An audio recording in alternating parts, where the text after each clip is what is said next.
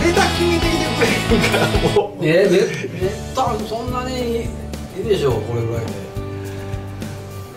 いつももうちゃんと決めてきてくれたやのに何この箇条書きみたいな。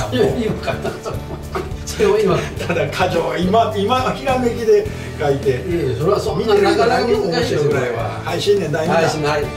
あどうも新年第2弾ということで。俺喋る方ほんましんどいねん。これこれ123でこれ文字123456789101112131415文字。今はいはいはい。日15文字しかあなた書いてない、うんそそれぐらいですね俺喋るの大変ねん。これみんな。何の何何を何の聞か何を聞かれるからすらわからん状態で。なんかもう居酒屋で喋ってるいやいやいやまあでもそういうねこうあんまりこうあの制限つけるとなかなかね。その割にはピーピーがないから優秀やででも。ほんまに。はい。普通やったらもうピーピーだらけやでこれ。はい。今日はあの、あのーまあこ正正月うんね小学。正月バージョンとして特別バージョンなんですけど、ね。はい特別バージョン。はい。はい。あのーまあ、海外遠慮ライブなんで明るいネタね。明るいネタあなた顔 明るく。はい。はい。あのーそしたら今日はですね、うん。あのーまあ、明るいということで海外生活。海外生活。海外生活。俺海外生活はしたことないけど海外遠征で魚釣りはずーっと行ってああそうですそうですね、海外での釣りですね。うんこれこれなはい。あの出てますね。ガーってやってね 楽しそうですからね。楽しそう楽しそう。ちょっとその話をねあのいろいそろこ行くかまあええわまあまあいいですよいけるとこオッケーはいオッケーオッケー。何でも喋るよ。ははいいあ今までいろいろ行かれたと思いますけどね、あの最初に行ったのはどこですなんですか、国の外？うん。いわゆる外国？外国でやりやりだったの。これで？これで。これで行ったんはどこやろ？これじゃなかったらちえー、と高校とこ大学生の頃、えー、違うわ大学生ぐらいか。これじゃなこれじゃなかったら大学生の時にあの観光地な？いわゆるホノルルとかハワイね。上海上海とかな、うん。ちょこちょこは行っとったわ、うん。うん。ああとあんたの好きなインドネパール。ネパール。のああそうですね。大学生の頃に行っとったかな。うん。なイギリスも行ったな UK も。これではこれはフィリピン違うかな。ちょっとオスラ方や覚えてないわ、うん、あのなんて言ったっけ、まあ。俺ナパーム弾撃たれたやつ。知らないそれ。ナパーいきなりの確かに、うんえー、とフィリピンでお何歳ぐらいセブのもっと南セブ島のもっと南おえーと289ぐらいじゃうかおなセブ島のもっとはいはい南の方のザンボアンガっていうとこあるおフィリピンのね、はい。でザンボアンガっていうとこまで行ってマニラからザンボアンガ飛んで、ザンボアン、えー違うわ、えープエルトプリンセスだごめん。プエルトプリンセスへ、はい。あそこから南へずーっとその大きなマザーシップ母船ではい。釣りする場所干渉ね。アトールねお干渉干アトールっていうんです。干渉おう干渉ね干渉は干渉サンゴ礁はいはいはい。あそうそういうそういうそういう釣りのスポットを目指して、大きなマザーシップで南へずーっとボルネオの近くまで降りるのよ。おでそのボルネオの近くにね、まあ、フィリピンよ。まだフィリピンなんだけども。あでそのマザーシップにはソルジャー積んでいく。それえ兵隊。兵隊よ。そうそう12ほどね。で僕らがちっちゃい船で魚釣り干渉にの前にアンカー大きい船がアンカーを下ろしてうん。我々がちっちゃなボートでこう釣りしてる時にこう狙ってくれてるわけですソルジャーが。海賊が出るから。海賊軍の？そうそうそうそはあ。うで俺海賊ぐらい思っとったわけよ。でそのボルネオの近くのなな名前忘れたな。南の一番南の方よ。まだね島フィリピンのね。でゲリラがおったのよまだあの政府軍の残党。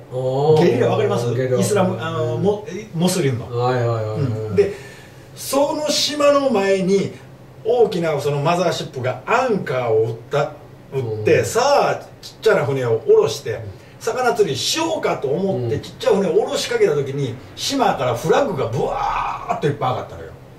旗が。旗がブワーッと上がってねナパーム弾飛んできたはよ ナパーム弾おー。がアンカー引きずったまんまそのマザーシップで逃げたよ。それが一番最初だな。確かフィリピンだった。フィリピンで。うん。であんまゲリラね。まあ反政府軍やね。そうそうそうそう反政府う軍、ーん。残党な。今でもおるのかな？もうちょっとようわからんけど。にに20まあ24、5年前よね。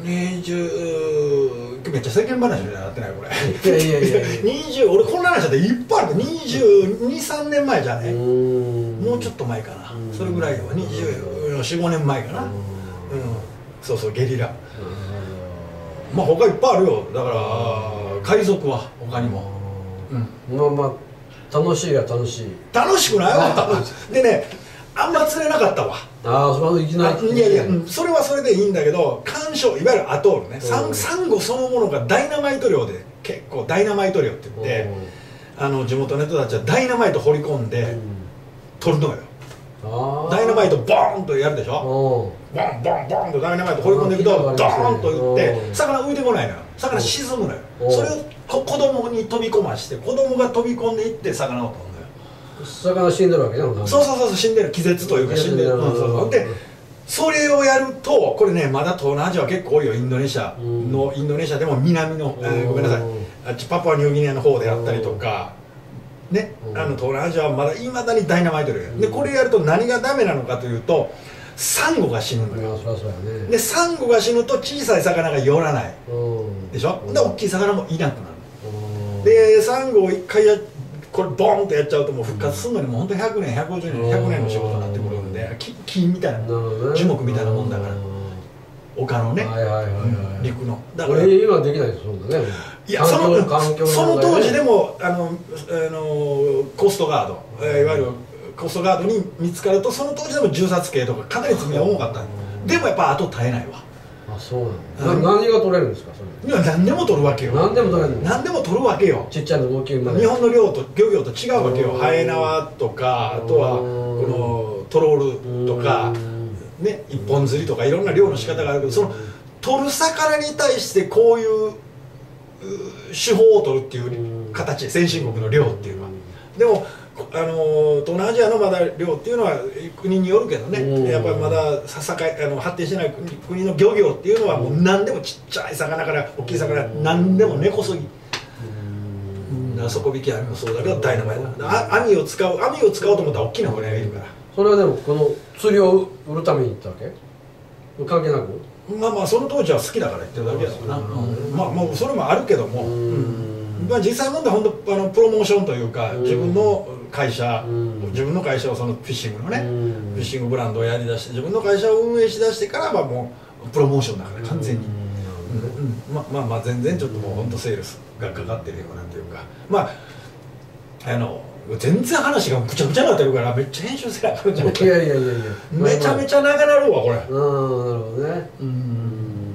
まあまあ一番最初の頃はそういったねまあまあちょっとした無茶もやってたと。まあ無茶じゃないよ。あとか。だって会社あるしからでもやっぱりあの行くところはどちらかというと似たり寄ったりとか多いよ。うん。やっぱり魚が釣れるところっていうのは人間が入らないところだから。そもそも人間が行きにくいエリアになって。くるわかります？コマーシャルコマーシャルフィッシャーマンいわゆる漁師が漁業者がいないような場所になってくるのよ。でどうしても不便であったりとか多少危険のリスクが伴うような場所。これは海水淡水問わずやっぱそうなってくる。まあそうじゃない場所もあるんだけどね先進国の例えばオーストラリアであったりとかあのクロマグロだったらそのカナダとかねそういうのはあるけどもニュージーランドもあるけどもあのこうあせえー何？赤道上のこうねうん。あったかいところの国になってくるとやっぱどうしてもそういう若干デンジャラスゾーンみたいなところがあるから、まあ、魚釣りの話って聞いても全然面白くないこれビジネスのエンジョイまあまあそういったあの海外でうん。あのそういう経験してきたと。うん。いうことですね。何やそれ。めっちゃ調子乗っとったらだんだんだんだんトンさいやいやいや。なるほど。おでも一番こうあの面白かったなとかありますか？面白かったなまあまあどこも全て面白い。やっぱり。うんまあだから魚が釣れれば楽しいし、うん。釣れなければまあ楽しいというよりはある意味仕事なんでプロモーション兼ねてるからやっぱり外さない大きいの絶対釣らないといけないっていうことでだからどこ行っても楽しいのは楽しいんだけど、うん。まあそれ以上に顧客うん。とかあと現地のローカルうん。の人たちもそうだけど、まあ、そういうのつながりっていうのも面白いわね、うん。まあ顧客だわな。一緒にやっぱり行く連中がやっぱ、うん。顧客なんでいろんな関係がね。ただあのどうですか？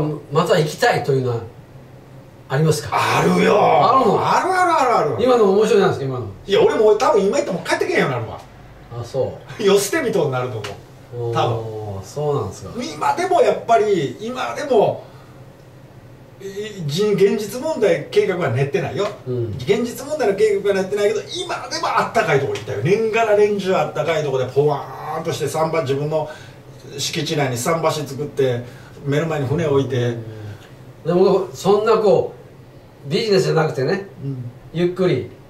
まあ逆にガイドする方かな。ああそうやね。もう。ちょっと違うと思う。やっぱガイドすあの顔じゃないと思うんですよやる方じゃない。ね。あのうん分かる分かる。うん。お客カスタマーに喜んでもらう、はいはいはい。だからロッジ作って、うん。まあまあビーチの前にロッジであって桟橋作って。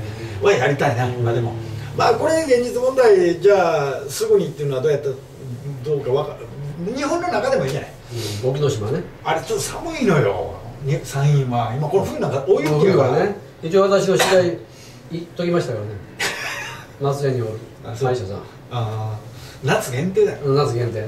夏限定、うん。だからな、まあまあありかなとは思うけど、やるか沖ノ島で、行きましょうよ。うん夏限定、うん6月7月8月ね678のもう8月後半になってくるとちょっと水温だいぶ下がるんでね、あそうですか？うん、基本的には大きな魚は釣れないけどまあまあゆったりとか、うんそうだね。それ行きましょう。まあコストそんなにかからへんし。そうしようか、うん。じゃああなた探して。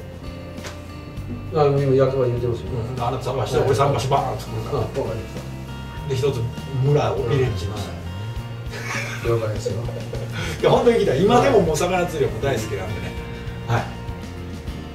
大丈夫よ。で今日ま泊まりないなこれ。そうですね。ちょっと10分過ぎましたけどこね。こでやめようか。そうですね。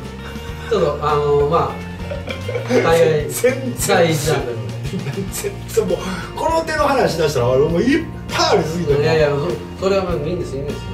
もうもうあとはもうあの同じほらあの YouTube の中にほらはこれやってるところのがあるからもう適当にそれに任せて。いわかりましはい。じゃあ今日はこれたはいどうも。